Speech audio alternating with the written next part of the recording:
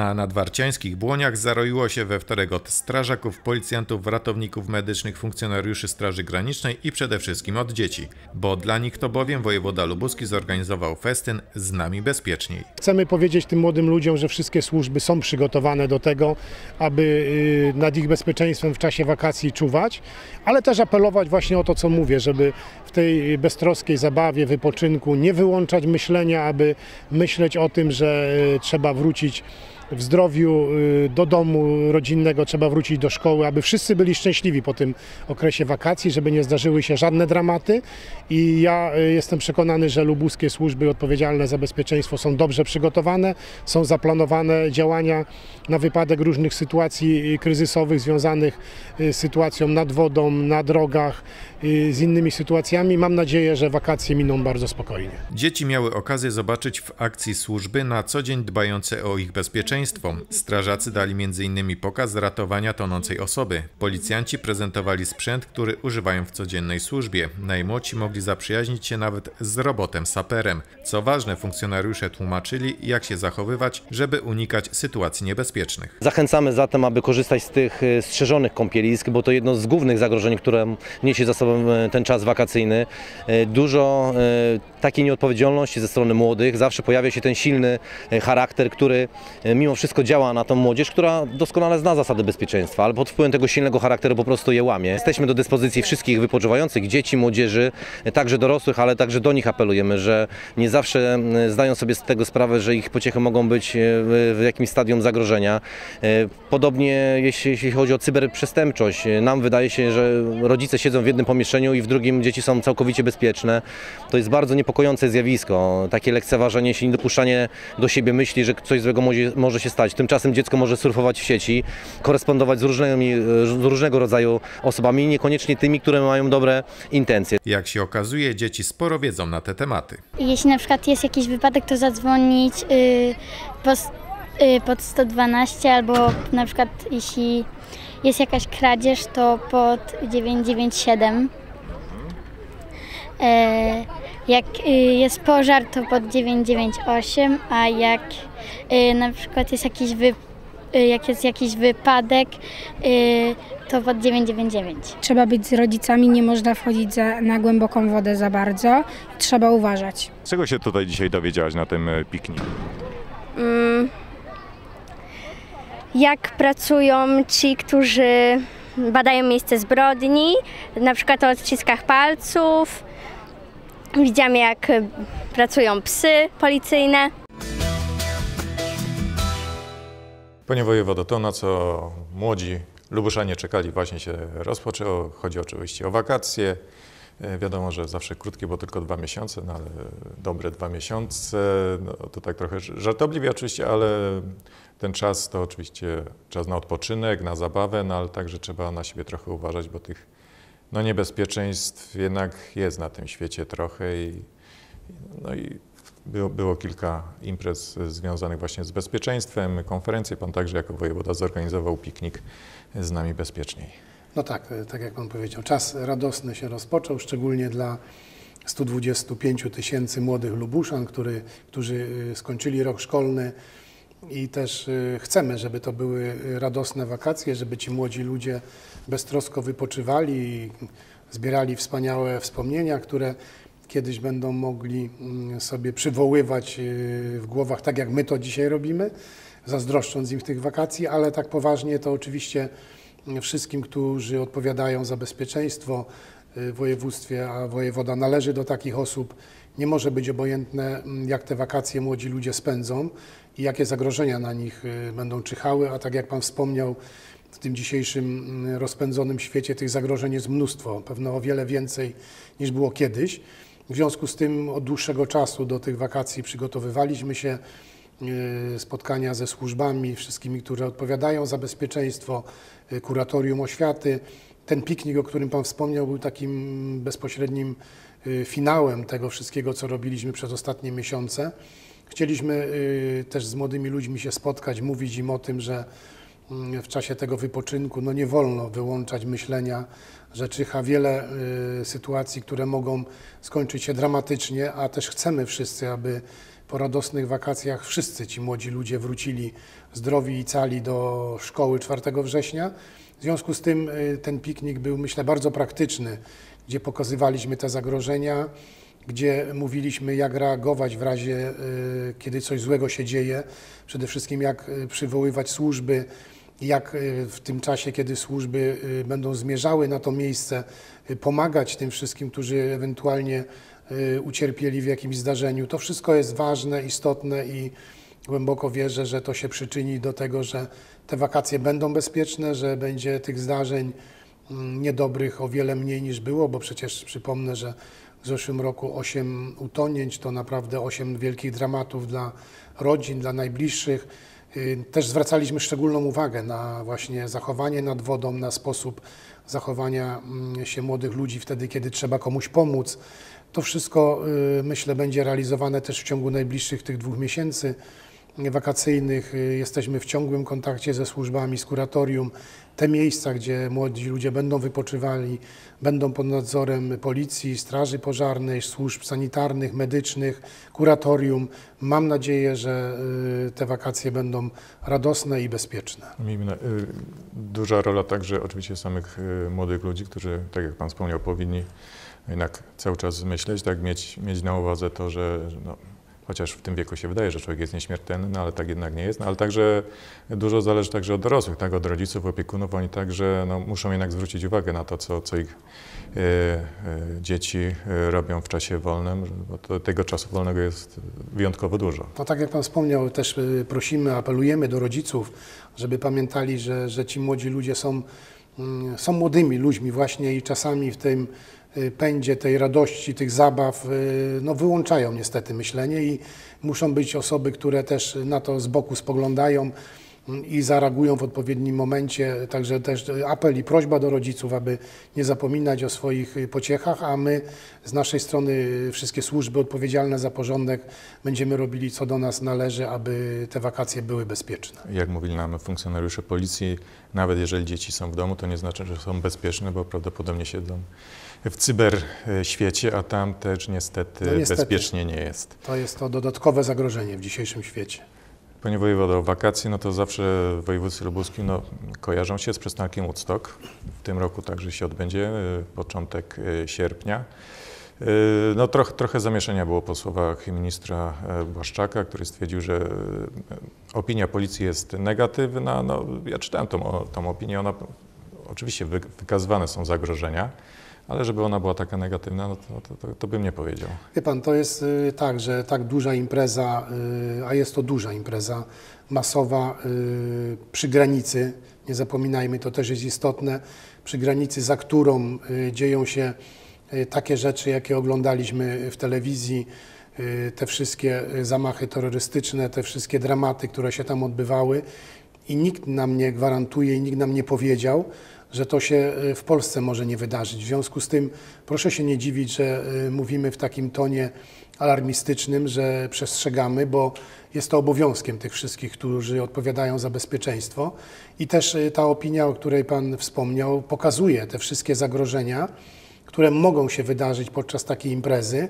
Je punktuje bardzo precyzyjnie i dokładnie. Tych zagrożeń kiedyś nie było, teraz one są nowe. W związku z tym organizator, który odpowiada za, za to, czy decyzja zostanie wydana y, tym, którzy ten festiwal robią na tak czy nie, musi rozważyć te wszystkie opinie, które zostały wydane przez y, służby, czy to policję, czy straż, czy, czy służby sanitarne. I to do burmistrza y, miasta Kostrzyn należy ta decyzja o, o tym, że będzie zgoda na, na ten festiwal. Natomiast policja, służby, które odpowiadają za porządek, będą, jeśli taka decyzja będzie, no będą robiły wszystko, aby ci młodzi ludzie, którzy tam będą, y, bawili się bezpiecznie, aby nic złego się nie wydarzyło.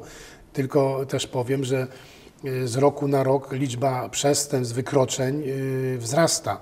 W zeszłym roku to było ponad 200 y, przestępstw, kilkaset wykroczeń. To wszystko jest y, groźne, to wszystko mm, jest y, zawsze, mówimy, że festiwal jest bezpieczny i dobrze, cieszymy się z tego, tylko to wszystko dzieje się zawsze do czasu, aż kiedyś jest ten pierwszy raz. W związku z tym trzeba zrobić no, wszelkie działania, żeby to było bezpieczne i tak chcemy to kontynuować Policji będzie o wiele więcej niż było w zeszłym roku.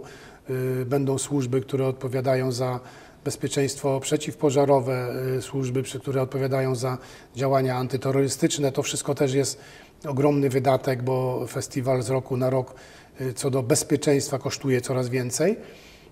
I też myślę, organizator musi tutaj stanąć na wysokości zadania.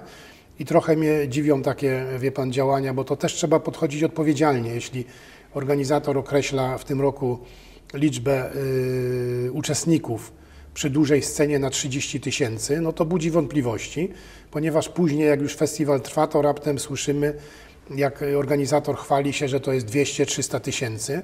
W związku z tym nie do końca są to takie odpowiedzialne działania. Jeśli ma być 30 tysięcy i do tych 30 tysięcy dostosowujemy liczbę ochroniarzy, no to ja rozumiem, że ich będzie tylko tyle, co wymaga 30 tysięcy uczestników i to będzie organizatora dużo mniej kosztowało niż trzeba by zapewnić tych ochroniarzy na 200 tysięcy. W związku z tym no nie do końca są to odpowiedzialne działania mm, organizatora i takie szukanie oszczędności w momencie, gdzie to może być bardzo niebezpieczne. Dlatego y, my musimy, jako ja jako wojewoda, policja musimy działać w sposób bardzo profesjonalny, bardzo odpowiedzialny i nie udawać, że y, pewnych zagrożeń, które w tej chwili w świecie, w Europie funkcjonują, że tu może nie być, bo jest to, mm, jak mówi organizator, impreza y, przyjazna, impreza miłości. Może tak jest, ale y, mogą się znaleźć ludzie, którzy mogą to nie wziąć pod uwagę i wówczas będzie oskarżanie wszystkich po kolei, począwszy od wojewody, służb, ministerstwa, że czegoś nie dopilnowano. W związku z tym chcemy, aby ten festiwal, jeśli będzie zorganizowany, odbywał się naprawdę y, profesjonalnie zabezpieczany. No, z tego co wiem, chyba orga- zorganizowany zostanie, tak? z- Ja powtarzam, to jest decyzja nie wojewody, nie ministra, nie policji, tylko pana burmistrza. Pan burmistrz ma wszystkie opinie i na tej podstawie może podjąć W każdym decyzję. bądź razie jest to impreza o podwyższonym ryzyku, podobnie jak e, Tak. w roku ubiegłym. Tak, tak, to jest oczywiste. Te y, punkty, które są zawarte w opinii policyjnej, y, w opinii służb specjalnych, wyraźnie pokazują, że to powinna być impreza o podwyższonym ryzyku.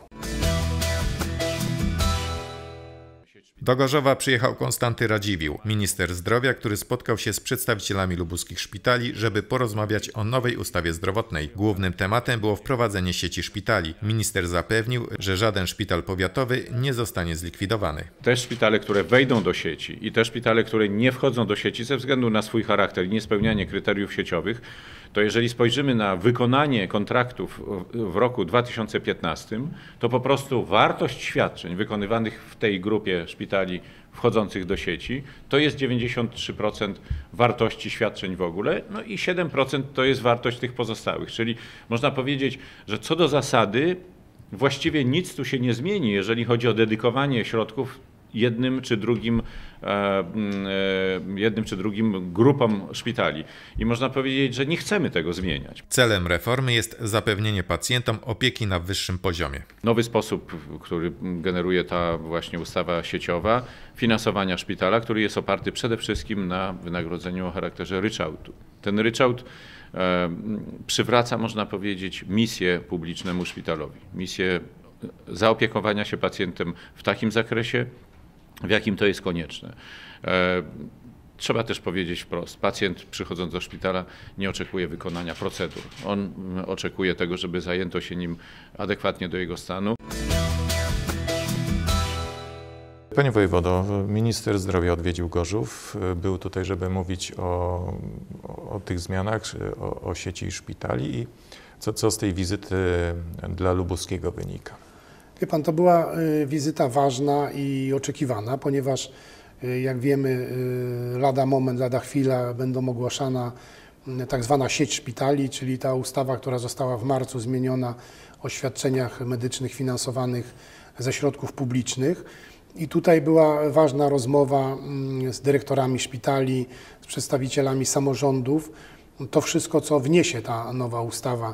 Po pierwsze, y, okazało się, że nie spełniają się te y, czarne scenariusze, które opozycja bardzo głośno artykułowała, że nie będzie y, tylu szpitali, ile trzeba, aby zabezpieczyć bezpieczeństwo medyczne mieszkańców. Ja sam miałem pytania w województwie lubuskim, czy będzie cztery czy pięć szpitali. Okazuje się, że będą te wszystkie, które zabezpieczają w powiatach potrzeby zdrowotne mieszkańców, czyli te szpitale, które funkcjonowały.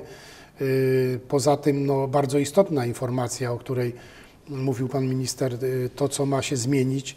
Po pierwsze y, pewność finansowania, czyli mm, szpitale będą miały y, jasno określone środki i perspektywę finansową, co jest niezmiernie ważne, ale też y, szpitale będą musiały zapewnić kompleksową opiekę naszym y, mieszkańcom, to znaczy nie taką, że szpital y, funkcjonujący wybiera sobie bardzo y, te procedury, które są najbardziej płatne, finansowane, natomiast nie organizuje w swoim szpitalu tych, które są bardzo czasochłonne co do organizacji, co do kosztów.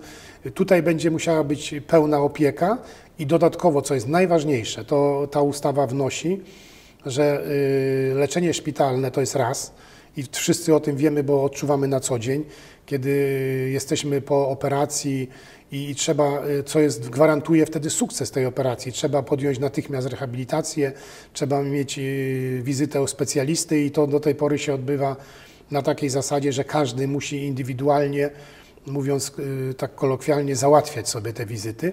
Y, W tej nowej ustawie szpital jest zobowiązany do tego, aby y, operacja, y, czyli na, na wydziale to jest jedno, ale musi być zorganizowana przychodnia, która zapewni specjalistę i musi być zorganizowana przychodnia, która podejmie rehabilitację. To jest bardzo istotne. Po drugie, y, i też bardzo istotne, szpitale będą miały organizowaną, y, muszą mieć zorganizowaną pomoc y, świąteczną i nocną, co y, sprawi, że y, w tej chwili te nasze y, szpitalne oddziały ratunkowe, które wy, wyglądają czasami przerażająco, bo trafiają na nie ludzie, którzy No, są no, różnie. różni, ale są w stanie bardzo... Niektórzy po tak, wypadku, a niektórzy z a zadrapaniem. niektórzy z zadrapaniem, z jakimś tam katarem i to się dzieją rzeczy później, które uniemożliwiają pomoc tym ludziom, którzy bardzo jej potrzebują. Czyli to jest naprawdę, y, to są zmiany rewolucyjne, zmiany, które mają się przełożyć na jakość leczenia, na zmniejszenie tych kolejek, które codziennie są. Oczywiście to jest proces trudny, to się będzie pewno realizowało y, nie tak prosto i nie tak łatwo, jak, jak się y, pisze czasami na, na papierze i ustawa pisze. Natomiast wszyscy y, chcemy, aby tak się wydarzyło i wszyscy i samorządowcy i dyrektorzy szpitali no, podejmują to wyzwanie i mam nadzieję, że w województwie lubuskim to przyniesie też te efekty, o których mówimy, czyli lepsza opieka dla pacjenta, mniej kolejek i, i to myślę będzie realizowane już od października. To, co także ważne, szczególnie dla Gorzowskiego Szpitala, że y, minister zadeklarował pomoc dla odbudowanej właśnie radioterapii. No to przy okazji tej wizyty, to co Pan mówi, y, chcemy mieć w Gorzowie radioterapię. y, Szpital podjął tą inwestycję, ona jest realizowana i oczywiście problem z wyposażeniem, czyli z tym nowym sprzętem, który jest potrzebny, to jest kilkadziesiąt milionów złotych i, tutaj na pytanie prezesa szpitala odpowiedział pan minister jednoznacznie, że pieniądze na wyposażenie tego nowego, tej nowej radioterapii się znajdą w ministerstwie. To jest ważna deklaracja. Tak, bo, bo, bo na te pieniądze właśnie o, ta część cały czas była tą zagadką, czy, No właśnie. czy będą Czyli możemy mury, spokojnie czy, czy jednak, inwestycje realizować i, i, i później dostaniemy pieniądze na wyposażenie. czy, Czyli miejmy nadzieję, że zgodnie z założeniami koniec przyszłego roku już to wszystko będzie działało i pacjenci z Gorzowa i okolicy będą mieli dużo bliżej i dużo łatwiej. No myślę, że tak będzie. Ja, ja ostatnio rozmawiałem z panem prezesem Ostrołuchem. No to jest teraz ogromna rola właśnie zarządu szpitala, żeby dopilnować cyklu realizacji inwestycji, żeby tu nie było żadnych opóźnień. Y, Pan prezes zapewnia, że tak będzie. Byliśmy niedawno w szpitalu, rozkopane, więc miejmy Czyli nadzieję, że, że, że, tak, że tak właśnie będzie. Na koniec jeszcze też trochę o pieniądzach, ale dużo mniejszych i, i na inny cel, bo zabytki, 20 dotacji zostało rozdanych na całe województwo. Dużo i mało pewnie, pewnie potrzeb jest zdecydowanie więcej. To jest, y, panie rektorze, to są y, te pieniądze, które mamy co roku w budżecie y, przeznaczane przez ministra, przez budżet państwa na poszczególne województwa. Nasze województwo ma niestety, to jest jedna z najniższych tych dotacji, ponad 400 tysięcy złotych, czyli tak jak pan mówi, A to właściwie... dlatego, że nie ma, że nie ma potrzeb, czy, czy Nie, nie, nie ma jest, zabytków? To czy... jest tak, że została przyjęta kiedyś przyjęty jakiś sposób tego podziału, z którym ja od początku się nie zgadzałem i też moja pierwsza wizyta, którą odbyłem w Ministerstwie Kultury z panią główną konserwator, z panią e, Gawin rozmawiałem i, i już jest ten ślad, że, że mamy obietnicę, że od przyszłego roku ten y, y, klucz podziału tych środków będzie inny i Lubuskie dostanie około miliona złotych, no to by było już coś, bo to jest dwukrotnie więcej. Ale też y, ważne to, co Pan wspomniał, że y, co prawda małe pieniądze, y, 20 podmiotów podpisało umowy, to są pieniądze rzędu kilku tysięcy, kilkunastu czy kilkudziesięciu, ale wszyscy, którzy te umowy podpisywali, mówią, że to jest nieduże, ale ważne pieniądze, bo one w jakimś tam cyklu kilkuletnim potrafią spowodować, że ważne nasze mm, zabytki, ważne elementy dziedzictwa kulturowego czy historycznego są jednak odnawiane, są konserwowane i, i przynosi to efekty. I dobrze, że chociaż takie pieniądze są, ale też dobrze, że są podmioty, które chcą się tego podejmować, samorządy, organizacje kościelne. I to są bardzo konkretne efekty i, i te podpisane umowy też zaowocują w przyszłym roku sfinalizowaniem kilku ważnych konserwacji czy yy, tych dbałości o te nasze lubuskie zabytki. Dziękuję bardzo za rozmowę. Dziękuję panu, dziękuję państwu.